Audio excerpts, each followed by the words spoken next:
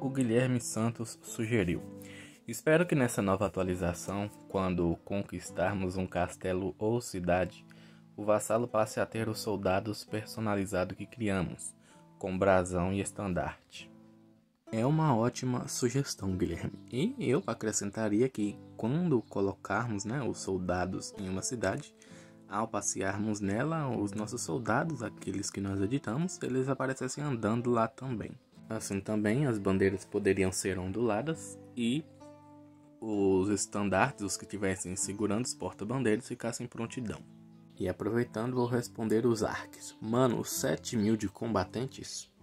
E essa pergunta dele é referente a uma publicação na comunidade e lá eu postei, né, me preparando para lutar contra os maometanos, que é o meu tema de jogo, é as cruzadas, então eu estou sempre em guerra com eles. E lá eu tenho 7 mil soldados. Acredito, né, por eu ter a gente poder recrutar apenas mil soldados, é estranho estar com 7. E esse exército, ele não é meu, entre aspas. E os mil soldados que apareceram nessa postagem aí foram o exército dos meus vassalos. E eu acredito que ele também já saiba disso.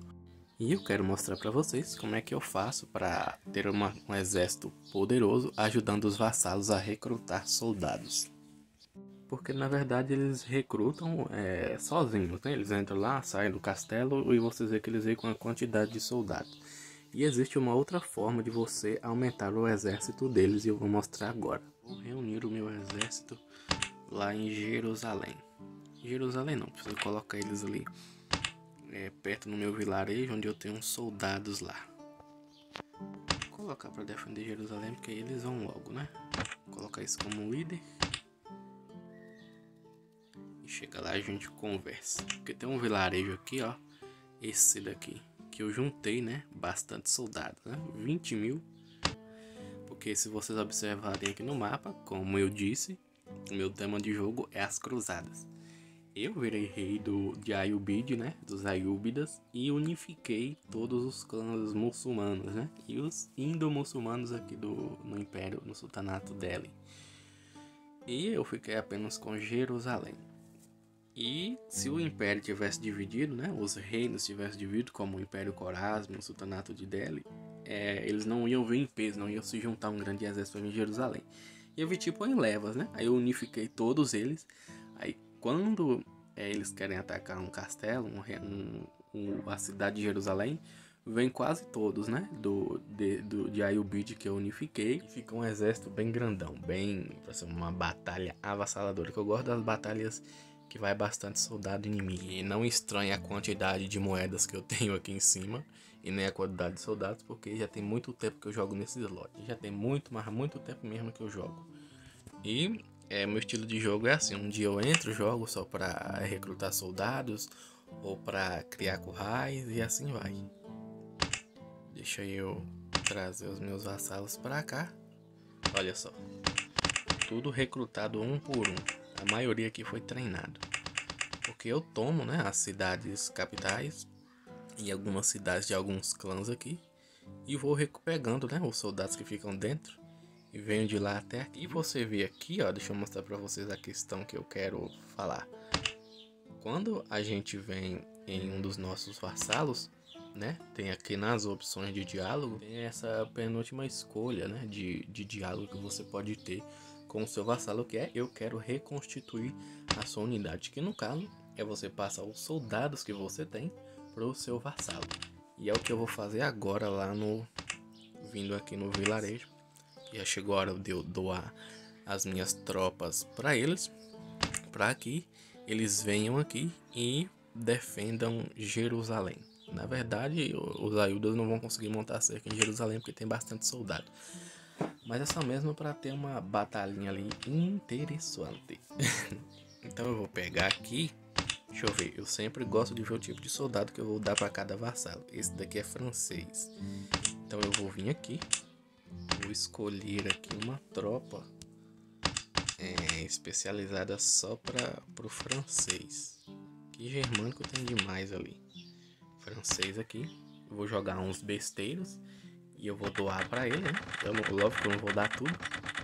Eu vou misturar e também vou dar um dos meus soldados personalizados. Deixa eu ver aqui. Hum, vou dar... Não, eu vou dar. Eu vou dar o lanceiro. E vou pegar principalmente os personalizados, que você vê tem bastante, né? Tem 2.000 aqui, 1.900, 1.600. Então todos os meus vassalos, eles vão receber é, os soldados que eu editei. Pra ficar bem diversificado. Aí eu faço uma misturada toda. Eu vou dar um pouco de cada pra ele, nem que ele fique com mil, alguns eu deixo com 600, outros eu deixo com 500. Se você ver aqui também, ó, dos meus soldados editáveis, os de infantaria eu sempre coloco, sabe? Com um animal, um cavalo, ou um, um burro mesmo, um jumento. Para que, é, quando ele estiver montado e eu ou um do meu vassalo estiver andando no mapa, ele não ande lento, porque quando os seus soldados estão a cavalo, eles se movimentam mais rápido. E mesmo depois que a gente pega um, esses soldados personalizados e doa para eles, a gente editando no castelo, para eles vai mudar também. 501, tá bom. E eu vou chegar aqui nesse meu vassalo, que é o, eu não vou ler o nome, Ludovic, Ludovic. E eu vou vir aqui nele, né? E vou doar. Eu quero reconstituir. Vou jogar todos esses meus soldados, né? E vou doar para ele, para que ele participe comigo da defesa de Jerusalém.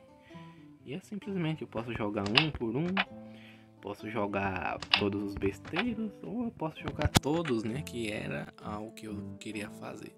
Ver que já está com ele, né? Os meus soldados dependendo de alguns casos, se ele tivesse sem nenhum no pelotão dele e eu jogasse os meus soldados com ele sozinho, os meus soldados personalizados iam aparecer aqui do lado dele no lugar desses franceses. Pode ver aqui, né? No pelotão dele. Esse aqui é ele. Que aparece os soldados que eu editei no exército dele. E por que que eu coloco, né? Também que eu não expliquei. Eu sempre gosto de lutar a pé dificilmente é, eu coloco as batalhas montadas a cavalo. Eu sempre gosto de lutar a pé. E tem a opção né, lá nas configurações. Você vem aqui, você desmarca essa opção que não vai haver cavaleiros na hora da batalha, serão todos como infantaria. Agora eu vou continuar doando tropas para eles. Vou doar agora aqui para o rei Henrique, né, que é do Sacro Império Romano Germânico reconstituir sua unidade. É, dependendo do vassalo, como eu disse, né, da quantidade de soldados, ele não recebe é, vassalos, né, não recebe soldados. Vou doar para o francês, o Roderick. Já separei aqui para o Roderick também, uma tropa bem legal, né? Vai ficar com 800. 853. Henrique vou jogar para ele. E quando eu vou fazendo isso, eu venho aqui em exército e vou excluir esses soldados aqui dos quais eu já doei as tropas para eles. Henrique M. E vou adicioná-lo, né, no que eu vou enviar para Jerusalém. Que é esses caras aqui. Para que eles saiam daqui e vão logo para Jerusalém. Acho que aqui já tem quase 3 mil soldados, né? E tem um motivo do porquê eu escolhi esses caras, né? Como os meus vassalos. Nós vamos ver daqui a pouquinho. Adolfo é o que? Germânico também. E você pode ver, né? Que as suas relações elas vão mudando. Mas eu vou fazer um vídeo especificamente sobre isso. Mas já dá pra gente poder notar aí que a nossa relação em reação ao comportamento dos chefes contra nós muda de acordo com as nossas atitudes, né? Que nós tomamos em relação a eles.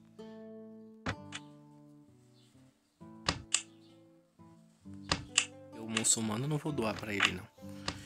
Que eu quero apenas que os cruzados fiquem, né? Apenas o exército latino fique em Jerusalém. E ele eu mando para um lugar bem distante, para na hora da batalha ele não aparecer como meu vassalo. Para não confundir, eu só quero mesmo um exército cruzado esse camarada aqui. Eu acho que ele é da bandeira é azul.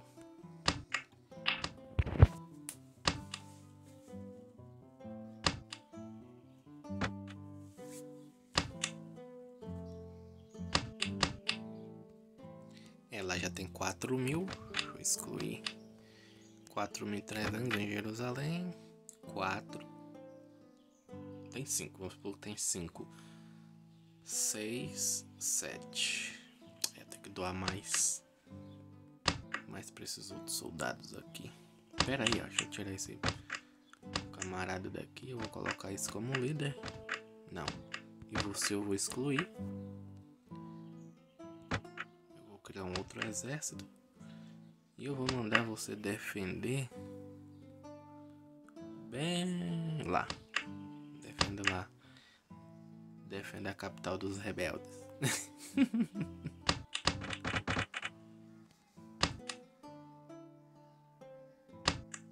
e o Frederick. É, não sei se eu vou conseguir doar pra esse não. Vou. Str Str não sei o nome. Streleberg. Quase mil. Agora deixa eu remover você aqui.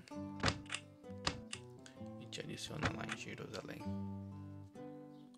5 mil. Acho que eu posso doar mil agora para esse camarada aqui.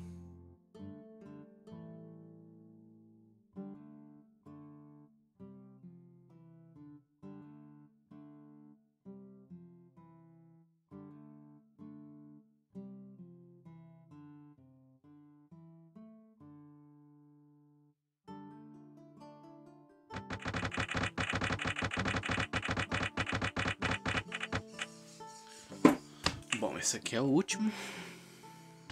Vou doar aqui para ele. Mil. Doei. Esse foi o último. Ele tá com 1053. Lembrando, né, que mesmo quando ele está com mil soldados ou mais, ele sempre vai continuar recrutando soldados, né, do clã dele.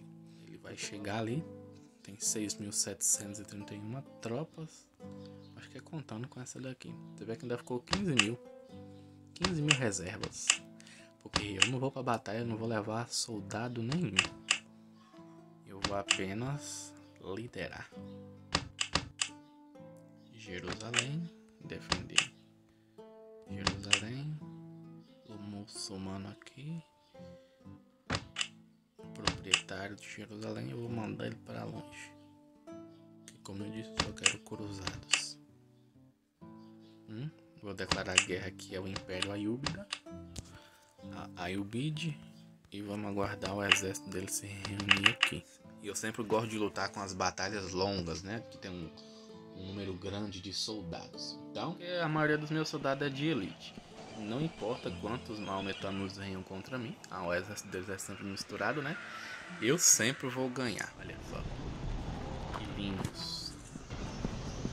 Misturado aqui. Eu dei só de elite, tá vendo? Porque os vassalos também têm seus próprios soldados. Agora, o que eu gosto, tem aqui o, os espadachins, né?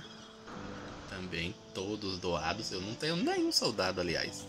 Esse aqui é o Roderick.